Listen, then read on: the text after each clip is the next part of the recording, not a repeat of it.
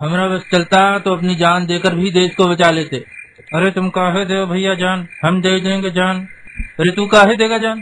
हम देंगे जान। कछु हो जाए भैया हम ही देंगे जान। अरे यार सिर्फ़ पंद्रह अगस्त को बड़ी बड़ी बातें करके कुछ नहीं होता। हाँ, हम सबका फ़र्ज़ बनता है देश के लिए अपनी जान देने का।